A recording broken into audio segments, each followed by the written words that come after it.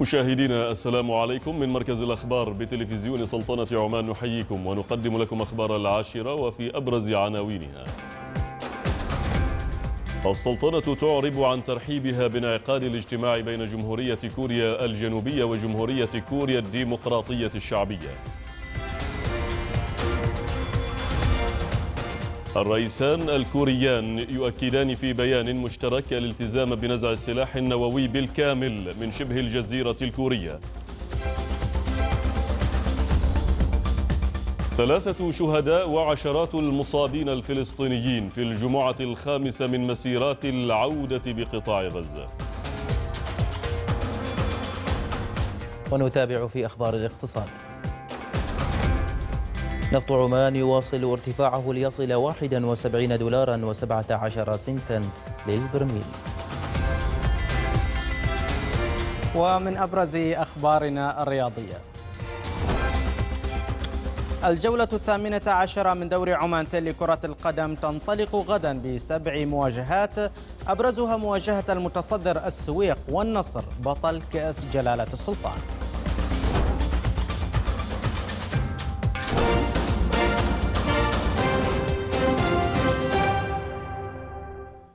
بعث حضرة صاحب الجلالة السلطان قابوس بن سعيد المعظم حفظه الله ورعاه برقية تهنئة إلى فخامة الرئيس ماريو عبدو بنيتيز بمناسبة انتخابه رئيسا جديدا لجمهورية البرغواي.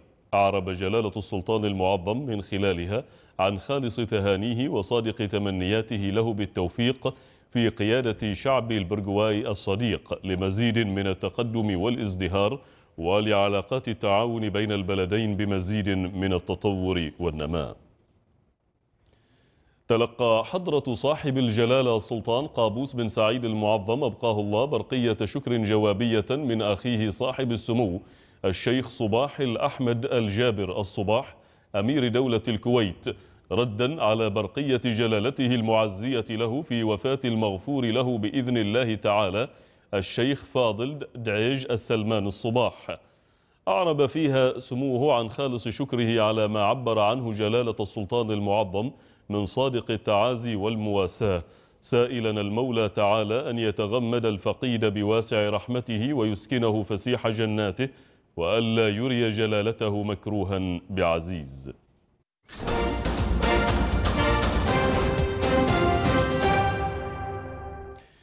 تاريخ جديد يبدأ مع توقيع الزعيمات كوريا الجنوبية وكوريا الشمالية على إعلان يتضمن الموافقة على العمل من أجل نزع السلاح النووي بالكامل من شبه الجزيرة الكورية. في خطوة سوف تساهم في تعزيز الأمن والاستقرار في شبه الجزيرة الكورية والعالم.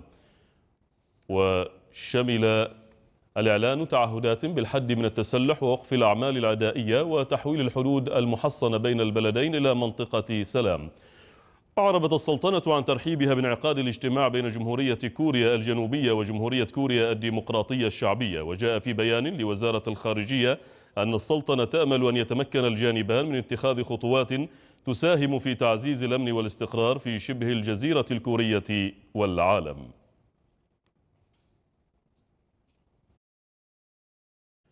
هذا وأشادت منظمة الأمم المتحدة بالقمة التاريخية بين الكوريتين وأشار الأمين العام أنطونيو غوتريتش إلى أهمية اللقاء وما سينتج عنه من تعزيز للسلام في شبه الجزيرة الكورية. وفي بيان مشترك بين الجانبين عقب المحادثات أعلن الرئيسان الكوري الجنوبي مون جاي إن والكوري الشمالي كيم جونغ أون أنهما سيعملان على التوصل إلى اتفاق لتحقيق سلام دائم في شبه الجزيرة.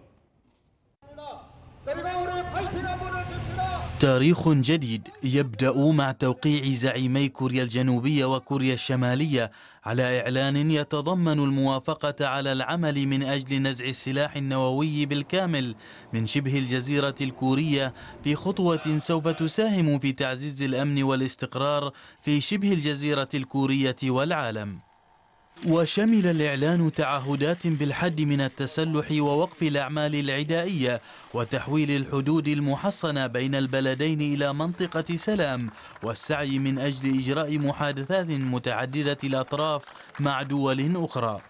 وفي لفتة عفوية دعا كيم الرئيس الكوري الجنوبي لعبور خط ترسيم الحدود العسكرية إلى الشمال لفترة وجيزة قبل أن يعود الاثنان مرة أخرى إلى الجانب الكوري الجنوبي من الحدود.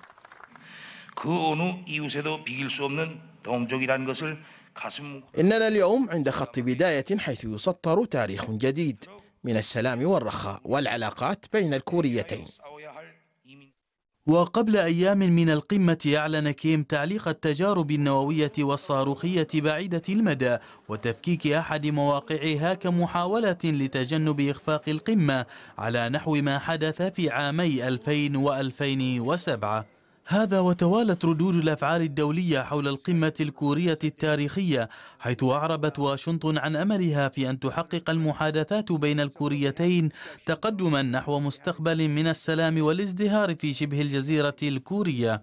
الصين من جانبها أشادت بالقمة بين الزعيم الكوري الشمالي كيم جون أون والرئيس الكوري الجنوبي مون جاي إن وحيت شجاعتهما معتبرة أن المصافحة بينهما عند الخط العسكري الفاصل بين البلدين تشكل لحظة تاريخية.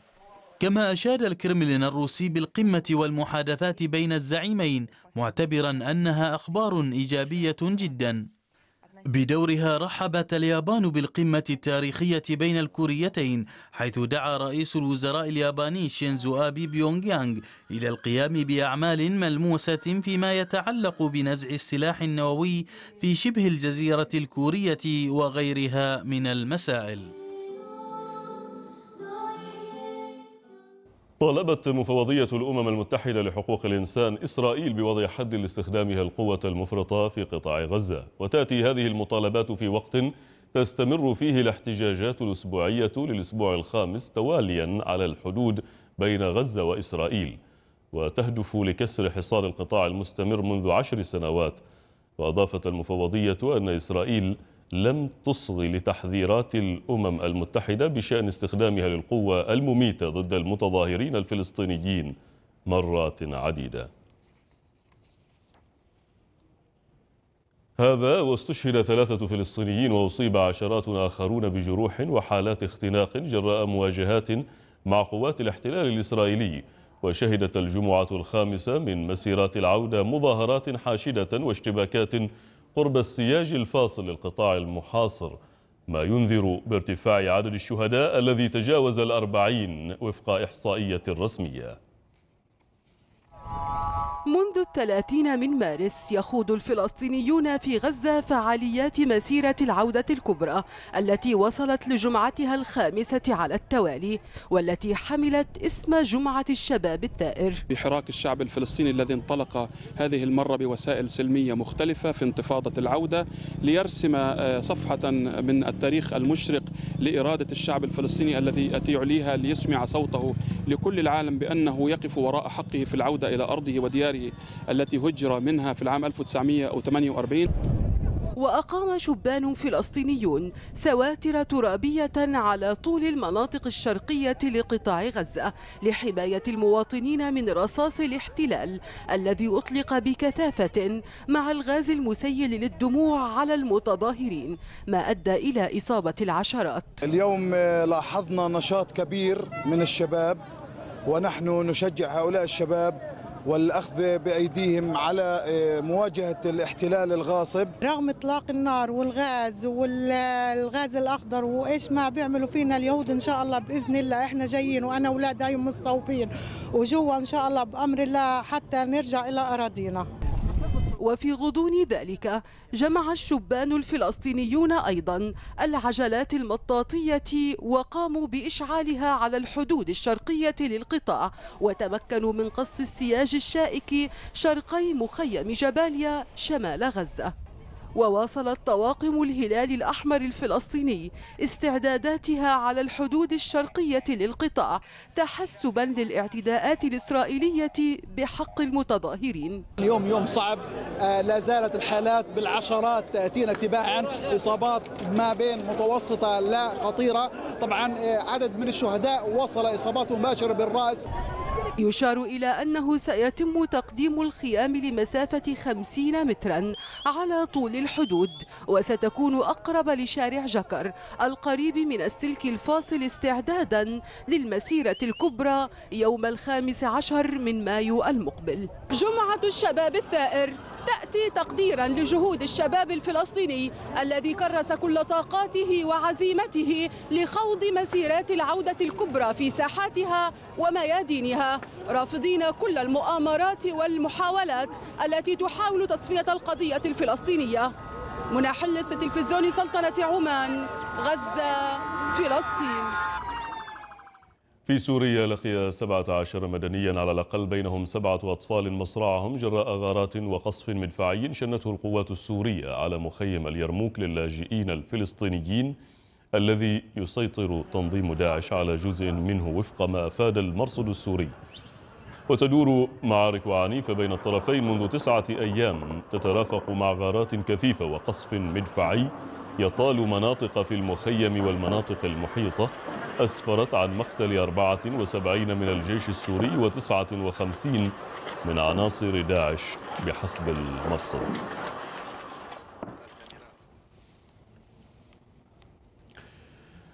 وإلى القمة الكورية وطغت على هذه القمة لقاء الرئيس الأمريكي دونالد ترامب والمستشارة الألمانية إنجيلا ميركل. في البيت الأبيض حيث أشاد الجانبان بالقمة الكورية وأكد الرئيس ترامب أن المباحثات بشأن شبه الجزيرة الكورية المنقسمة لم تصل ابدا إلى هذا الحد.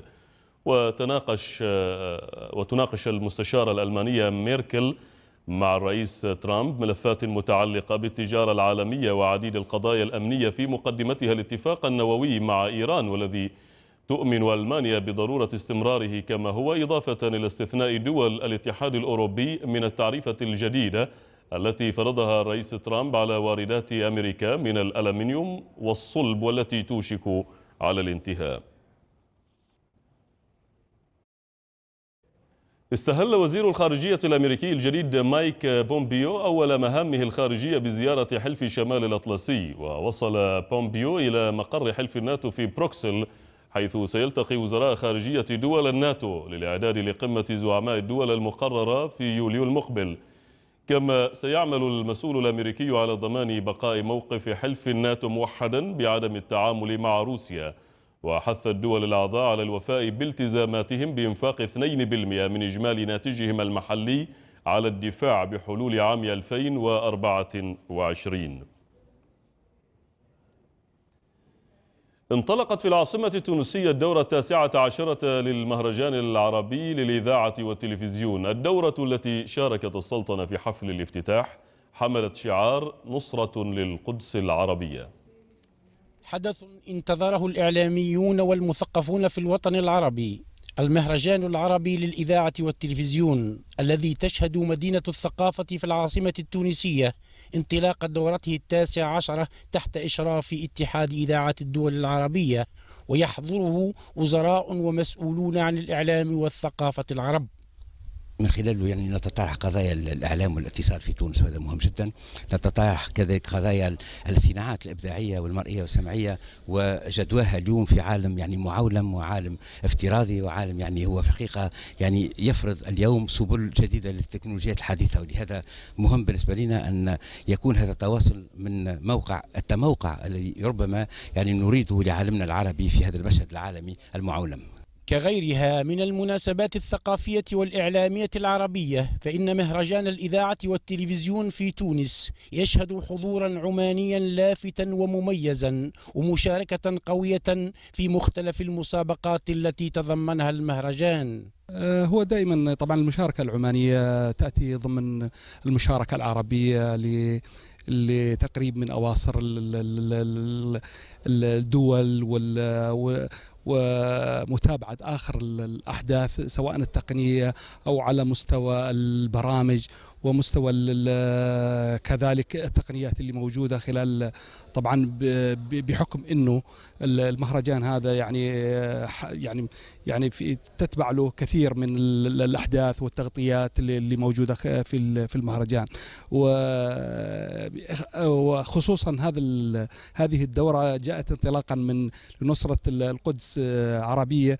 تبادل وجهات النظر. في هناك لقاءات أيضا كلها تصب لمصلحة الإعلام العربي إن شاء الله لمستقبل الإعلام العربي المشرق. أيضا في هناك مسابقة في المجال السمعي والمرئي. أنا أتوقع أيضا هذه المسابقة تضيف إضافة جميلة للمبدعين في الإذاعة والتلفزيون في الوطن العربي. حفل الافتتاح مثل مناسبة للتعارف بين الوفود وتكريم ثلة من المبدعين في إطار احتفالي بهيج لا يخلو من إمتاع وتقدير وعرفان لأهل الثقافة والإعلام. المهرجان العربي للإذاعة والتلفزيون مناسبة إعلامية وثقافية عربية لتبادل الخبرات والتجارب فضلا عن التعارف والتنافس. وأجمل ما في هذه الدورة أنها حملت اسم دورة القدس عاصمة لفلسطين لتلفزيون سلطنة عمان من العاصمة التونسية عبد الرزاق بن علي. النشرة مستمرة من مركز الأخبار بتلفزيون سلطنة عمان وتتابعون بعد الفاصل. ختام ملتقى حافظات القرآن الكريم الأول بمحافظة ظفار.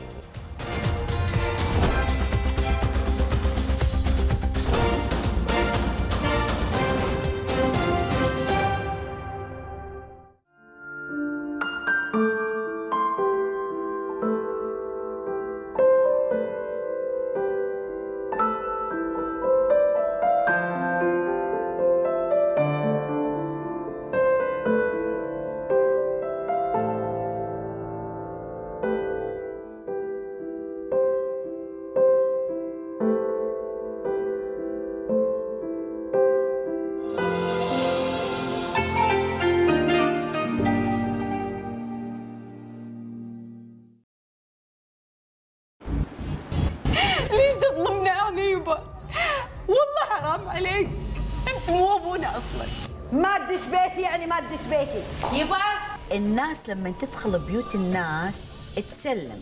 الله خلق وفرق. بلا استشارات بلا بطيخ. خالتي أنا مو موافق على زواج شوقي إيش تبي؟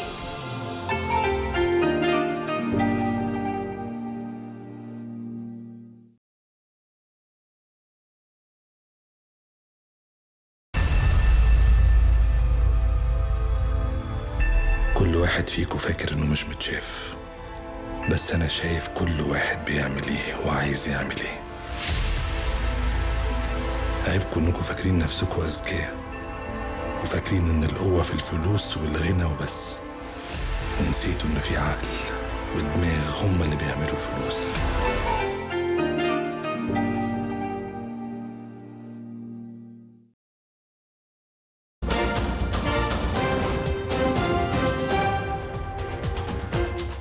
السلطنة تعرب عن ترحيبها بانعقاد الاجتماع بين جمهورية كوريا الجنوبية وجمهورية كوريا الديمقراطية الشعبية.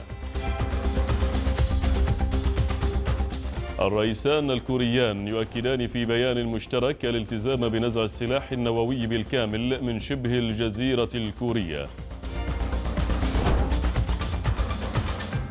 ثلاثة شهداء وعشرات المصابين الفلسطينيين في الجمعة الخامسة من مسيرات العودة بقطاع غزة.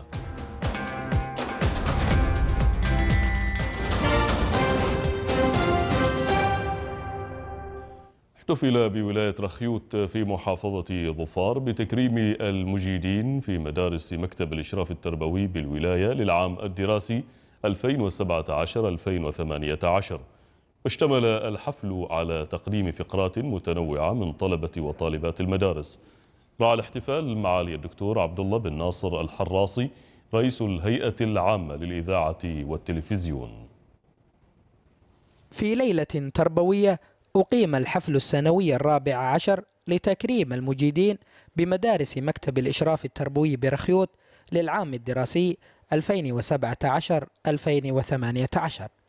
الحفل الذي جاء لتحفيز الطلبة لمواصلة مشوارهم التعليمي بكل جد وعطاء وتحقيق نتائج إيجابية تساهم في النهوض بالحقل التربوي والتعليمي نحو غد مشرق. اللوحات الفنية التي قدمت في الحفل كانت ترجمة لهذا الفرح والاحتفاء بالطلبة وإظهار مواهبهم المتنوعة.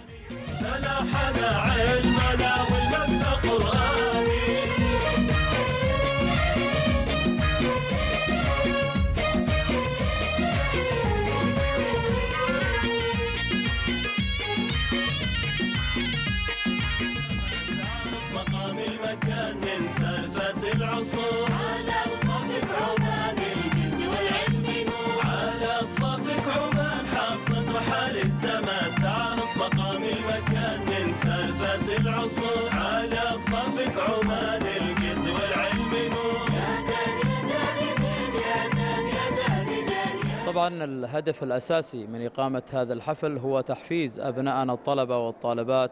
نحو الاهتمام بالمستوى التحصيلي والوصول إلى أفضل المستويات وإن هذا الحفل آه، أصبح آه، من الاحتفالات التي يحلم بها كل طالب. ووصول الطالب إلى مسرح التفوق في مدرسة أيدوروت آه، يعتبر هاجس أساسي لدى أبناء طلاب مدارس المكتب. في الختام قام راعي المناسبة بتكريم الداعمين والمعلمين والطلبة المجيدين من مختلف المدارس التابعة للمكتب وسط أجواء الفرحة بهذا الإنجاز والتفوق وكأنهم يقولون سنكمل المسيرة لبذل المزيد من الاجتهاد لخدمة عمان وقائدها المفدى. أنا الطالب أحمد عيسى عكاك من مدرسة الخيوط الصف الثامن. أشكر مكتب الإشراف على التكريم والمعلمين. طالبة اليمامة بنت عيسى محمد العمري صف السابع بمدرسة شاب الصعيب للبنات. أولا أشكر مكتب الإشراف التربوي برخ- برخيوت وأشكر أهلي وأشكر معلماتي ومديرة المدرسة. معكم الطالبة هاجر بنت مسلم سالم جماس أنا سعيدة بهذا التكريم وندعو الله التوفيق لخدمة هذا الوطن القالي.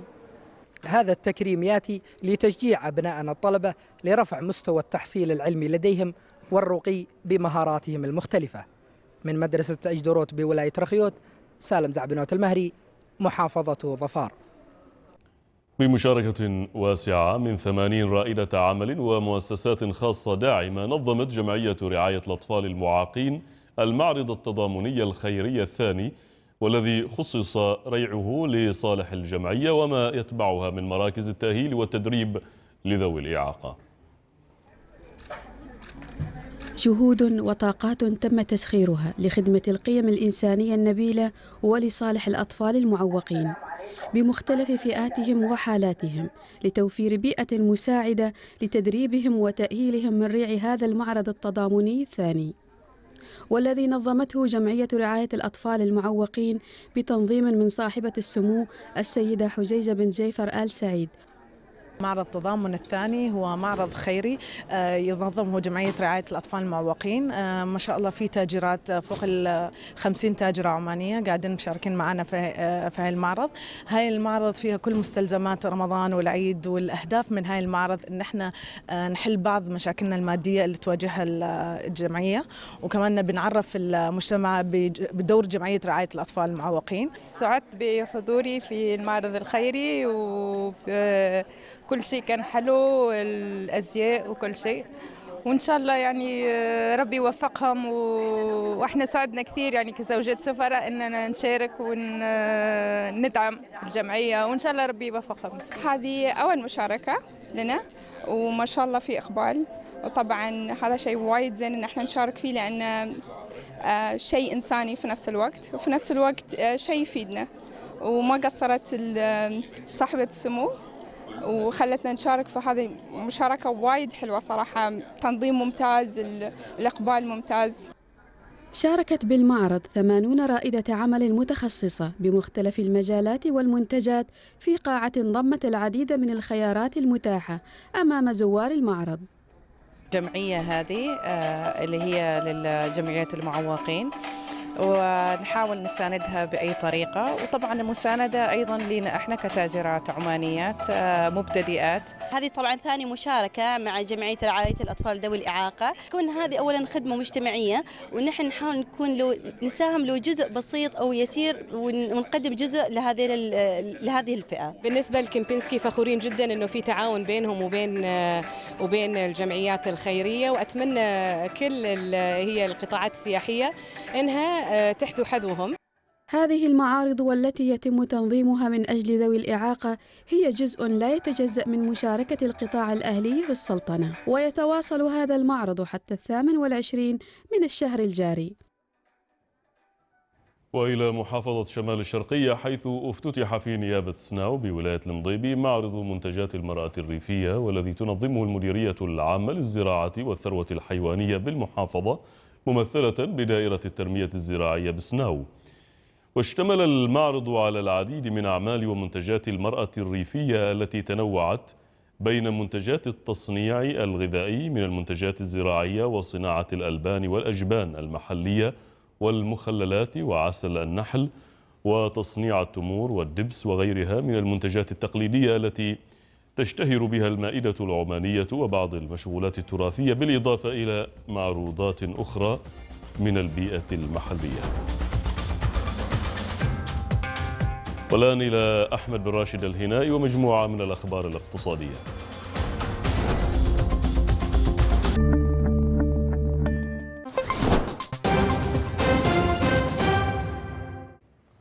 أهلا بكم مشاهدينا أكثر من 3900 قرية في جميع محافظات السلطنة. شملها مشروع المسح الفني الميداني لقياس جودة الاتصالات. جاء ذلك في مشروع فني ميداني أجرته هيئة تنظيم الاتصالات في كافة ولايات ومحافظات السلطنة.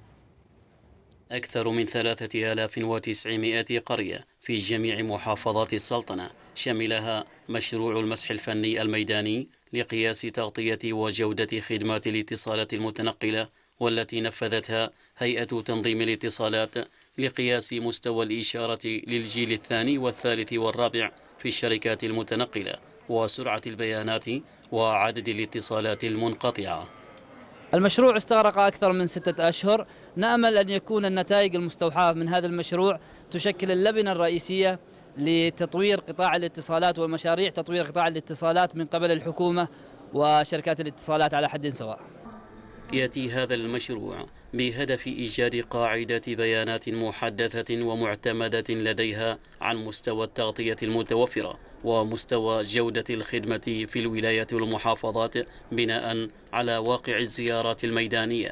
كما أن هذه البيانات ستكون بمثابة مرجع للعمل على توسعة شبكات الاتصالات سواء بحسب الخطط الحالية أو المستقبلية. هذه السنة لدينا ثلاث مشاريع نعرضها للجمهور العام ومن أهمها مشروع المسح الميداني للتغطية وجودة الخدمة وذلك إيمانا منا بأهمية دور الهيئة في تطوير قطاع الاتصالات. هيئة تنظيم الاتصالات دشنت الخريطة التفاعلية التي جاءت بالتزامن مع انتهاء المشروع فيما أكد عدد من زوار جناح معرض كومكس على أن الخريطة تساعدهم على اختيار شركة الاتصال المناسبة لمناطقهم. سعود بن سعيد المعولي مسقط. الذي يحافظ على أساسات منزلك ويزيد عمره الافتراضي لسنوات عديدة؟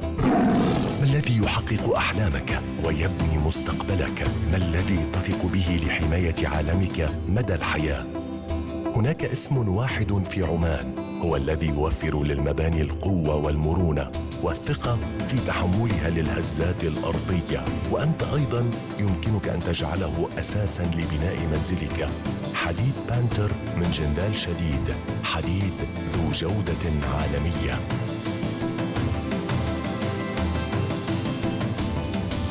حديد بانتر الاسم الذي يعني الثقة مدى الحياة. ارتفع سعر نفط عمان اليوم 49 سنتا ليبلغ 71 دولارا و17 سنتا تسليم شهر يونيو القادم. تجدر الإشارة إلى أن معدل سعر النفط العماني تسليم شهر مايو المقبل بلغ 63 دولارا 31 سنتا للبرميل مرتفعا بمقدار 30 سنتا مقارنة بسعر تسليم شهر أبريل الجاري. عالميا انخفضت أسعار النفط اليوم لكن خام برنت احتفظ بجزء كبير بالمكاسب التي حققها في الجلسة السابقة. وانخفضت العقود الآجلة لخام القياس العالمي مزيج برنت 27 سنتا إلى 74 دولارا و47 سنتا للبرميل. ونزل خام غرب تكساس الوسيط الأمريكي 19 سنتا إلى 68 دولارا للبرميل. من جهة أخرى قالت وسائل إعلامية إن وزراء من منظمة البلدان المصدرة للبترول أوبك يعتزمون الاجتماع في فيينا في الثالث والعشرين من يونيو المقبل بعد يوم واحد من محادثات يجريها وزراء المنظمة فقط. ومن المؤمل أن يناقش الأعضاء اتفاق خفض إنتاج النفط بين أوبك والمنتجين المستقلين بقيادة روسيا. وإلى المعدن الأصفر حيث استقرت أسعار الذهب بالقرب من أدنى مستوى في خمسة أسابيع متجهة إلى التراجع بأكثر من واحد بالمئة هذا الأسبوع تحت ضغط قوة الدولار. واستقرت واستقر الذهب في التعاملات الفورية دون تغيير يذكر عند 1316 دولارا و34 سنتا للأوقية. وانخفض المعدن الأصفر في العقود الأمريكية الآجلة واحدا من عشرة بالمئة إلى 1317 دولارا و20 سنتا للأوقية. بهذا مشاهدينا نصل إلى ختام النشرة الاقتصادية. شكرا لحسن المتابعة.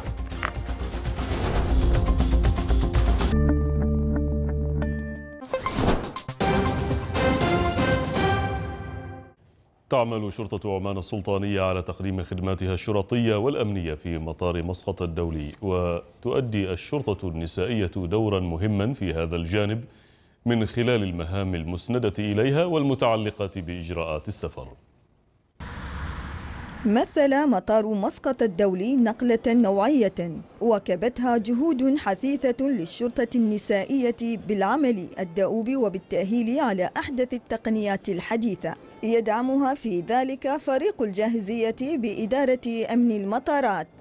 دورنا يتمثل في رصد الملاحظات الأمنية وتحسينها في المطار الجديد. كذلك قمنا باستحداث خطط للطوارئ ودليل المهام والإجراءات القياسية التشغيلية في المطار الجديد. كذلك قمنا باستهداف تدريب الضباط والأفراد وكذلك العنصر النسائي لتعريفهم بأماكن العمل وكذلك إجراءات والآلية العمل في الخفارات بالتعاون مع قسم التدريب. قمنا بما يقارب بعمل 45 تجربة تشغيلية فقط للتأكد من مستوى الجاهزية لدينا وهذا ساهم كثيرا في الارتقاء والوصول إلى نتائج مرضية. وتلقت الشرطة النسائية التدريب في كافة الجوانب الأمنية المتعلقة بأمن المطارات وقد أثبتت قدرتها على تنفيذ كافة المهام الموكلة إليها. يتطلب التوزيع السليم والدقيق العنصر النسائي في الأماكن والخفارات الأمنية كدور وطبيعة مهامهن سواء كان لتفتيش الحقائب المتعلقة بالمسافرين أو التفتيش الجسماني للمسافرات. طبعا الهدف منها هي محافظة وعلى سلامة وأمن الطيران المدني. دوري هو المشاركة في إلقاء المحاضرات النظرية التي تنفذها الإدارة العامة لأمن المطارات وكذلك التدريب العملي للشرطيات على رأس العمل تدريبهن على كيفية استخدام الأشعة السينية يوجد لدينا أجهزة أشعة متطورة تستخدم في تفتيش حقائب وأمتعة المسافرين وكذلك أقواس أمنية وأجهزة يدوية كاشفة للمعادن تستخدم في التفتيش الجسماني للمسافرين وأيضا أجهزة متطورة تستخدم للكشف عن المتفجرات والمخدرات.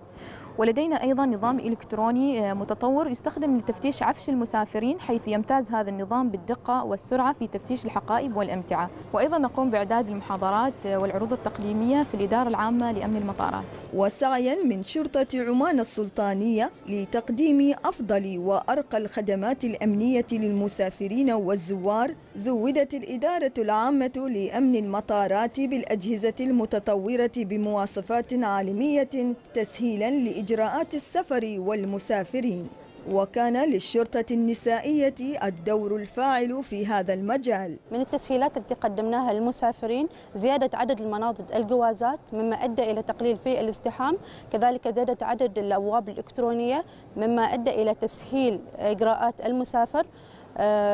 دون حاجة إلى الرجوع إلى مناضد الجوازات كذلك منح التأشيرة الإلكترونية لزائري في السلطنة. وتبقى الإنجازات الرائدة تتوالى دعما لمسيرة التنمية والتميز الحضاري بالسلطنة.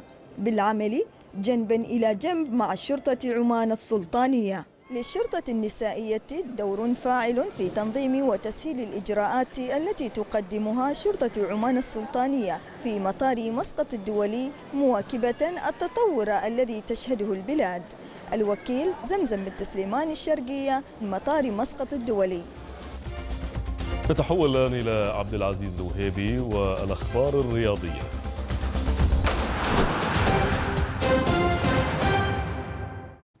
شكرا أحمد أهلا بكم. لحق نادي صور بالمتأهلين الرستاق ومجيس إلى دوري عمان تل بفوزه العريض على بوشر برباعية نظيفة ضمن مباريات الجولة العاشرة والأخيرة لدور الدرجة الأولى لكرة القدم. صور نجح في تسجيل ثلاثة أهداف في الشوط الأول وأضاف هدف رابع في الشوط الثاني من ركلة جزاء ليخطف بطاقة التأهل الأخيرة من نادي السيب الفائز على مجيس بأربعة أهداف لهدف. كما وصل رستاق عروضه الرائعة وسجل انتصارا آخر على بهلة بثلاثة أهداف دون رد ليتوج بطلا لدور الدرجة الأولى ويتسلم درع البطولة من النائب الأول لرئيس الاتحاد العماني لكرة القدم محسن المسروري. تنطلق الجولة الثامنة عشرة من دوري عمان لكرة القدم يوم غد السبت بإقامة سبع مواجهات أبرزها لقاء المتصدر السويق مع النصر بطل مسابقة كأس جلالة السلطان ولقاء كلاسيكو الكرة العمانية بين فنجة وظفار. تنطلق غدا مواجهات الجولة الثامنة عشر من دوري عمان تل بطموحات عالية وغايات مختلفة. البعض يبحث عن طوق نجاة والبعض الآخر ينظر للقمة بعين وينظر لمنافسة غد بعين أخرى. الجولة تنطلق بإقامة جميع المباريات السبع حيث يبرز لقاء متصدر الدوري نادي السويق مع بطل الكأس نادي النصر على المجمع الرياضي بصلالة. أصفر الباطن يبحث خطوة أخرى إضافية نحو لقب الدوري وتوسيع الفارق. حتى وإن كان منافسه هو نادي النصر الذي يعيش أفضل فتراته مع مدربه المصري حمزة الجمل. وفي كلاسيكو الكرة العمانية يلتقي الجريح نادي ظفار القابع في المركز قبل الأخير مع مستضيفه فنجة سادس الترتيب. وعلى المجمع الشبابي بصحار يستقبل صحم نادي مرباط في مباراة يبحث فيها الفريقان الهروب من أسفل الترتيب. وعلى الملعب ذاته يلتقي الأخضران نادي صحار متذيل الترتيب مع ضيفه العروبة صاحب الأداء المتذبذب والنتائج المتباينة. وفي لقاء لا يقل أهمية ولا إثارة يستقبل نادي الشباب ثاني الترتيب ضيفه النهضة المنتشي. الشباب يسعى إلى تصحيح المسار وإعادة الفريق إلى سكة الانتصارات بعد خسارة مباراة القمة أمام السويق في الجولة الماضية ومصالحة جماهيره وانتظار تعثر المتصدر في قادم الجولات. ويستضيف المضيبي على استاد السيب الرياضي ضيفه نادي مسقط. ويرحل السلام ثامن الترتيب إلى العاصمة لمواجهة نادي عمان وكل منهما يبحث عن فوز للتقدم خطوة إلى الأمام والتدارك قبل فوات الأوان. تأهل النصر وأهل سداب إلى نهائي دوري عام السلطنة للهوكي بعد فوزهما على صلالة والسيب في نصف نهائي المسابقة. حيث تمكن النصر من الفوز بصعوبة على صلالة بثلاثة أهداف مقابل هدفين بينما تغلب أهل سداب على السيب بخمسة أهداف لهدفين ليصعد الفريقان إلى المباراة النهائية التي تقام غدا على ملعب الترتان بمجمع سلطان قابوس الرياضي ببوشر فيما سيلعب الخاسران صلالة والسيب مباراة تحديد المركزين الثالث والرابع. توج نادي الدحيل بلقب كأس قطر بعدما قلب الطاولة على السد وفاز عليه في المباراة النهائية بهدفين لهدف. تقدم السد بالهدف الأول بواسطة اللاعب حسن الهيدوس في الدقيقة الثامنة عشرة وانتظر الدحيل حتى الدقيقة الثامنة والسبعين ليدرك التعادل بهدف إسماعيل محمد. وفي الرمق الأخير من عمر المباراة احتسب حكم المباراة ركلة جزاء للدحيل سجل منها المهاجم يوسف العربي هدف الانتصار مضيفا لفريقه الدحيل لقب كأس قطر إلى لقب الدوري ويتوج بالثنائية. نادي الدحيل اذا بطلا لمنافسات أعلن أندريس إنيستا قائد برشلونة الإسبانية اليوم الجمعة خلال مؤتمر صحفي أنه سيترك النادي الكتالوني في نهاية الموسم الحالي. وقال إنيستا إن هذا الموسم هو آخر موسم له مع برشلونة مؤكدا أن قراره أتى بعد تفكير عميق وأفادت وسائل إعلام إسبانية أن إنيستا سينتقل إلى نادي تشونكينغ داندي الصيني الموسم المقبل وأمضى إنيستا صاحب الثلاثة والثلاثين عاما كامل مسيرته في صفوف برشلونة هو وزميله الأرجنتيني ليونيل ميسي ويملكان أكبر حصيلة من الألقاب على مدار تاريخ النادي برصيد 31 لقبا لكل منهما وربما يرتفع الرقم إلى 32 لقبا إذا حسم برشلونة. لقب الدوري كما هو متوقع. الأحد المقبل عندما يواجه ديبورتيفو لا كورونيا ختام جولتنا الرياضية. شكرا لكم على حسن وطيب المتابعة وعودة إلى أحمد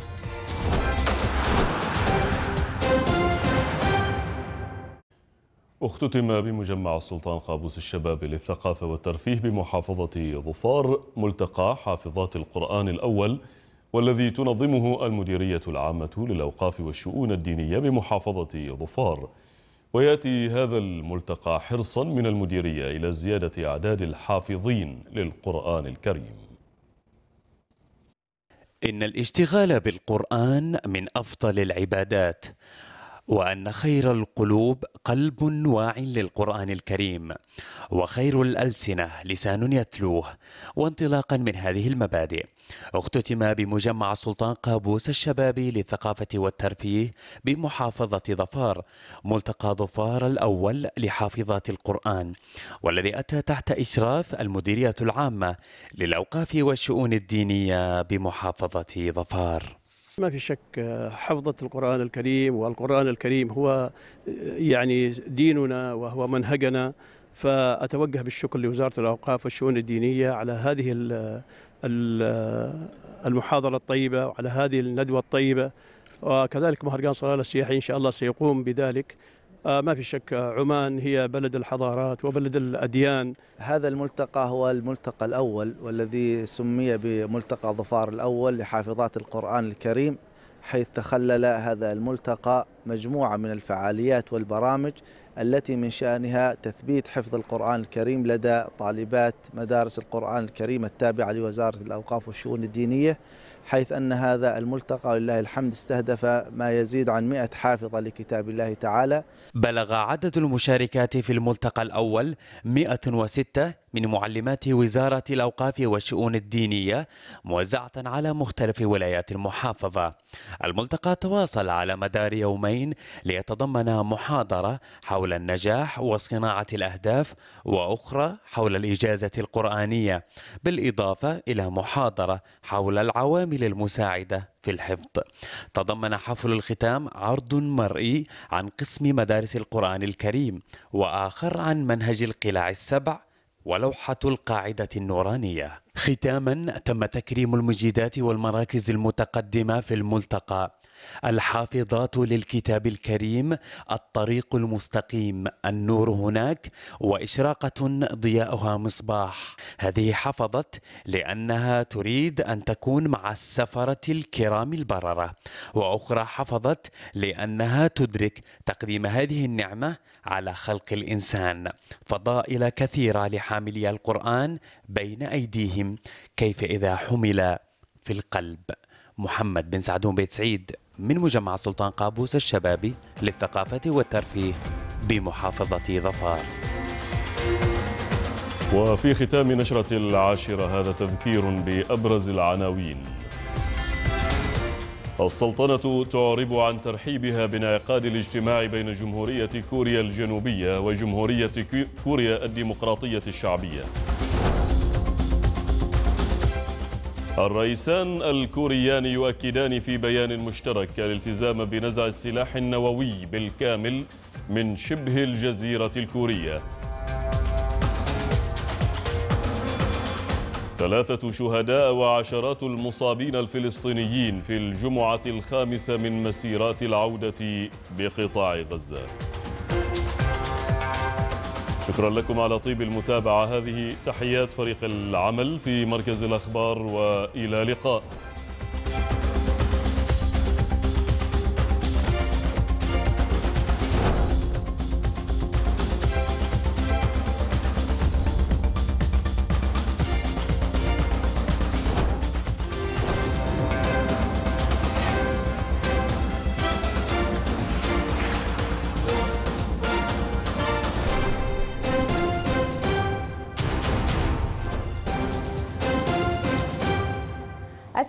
أوقاتكم مشاهدينا الكرام بكل خير وأهلا ومرحبا بكم إلى النشرة الجوية.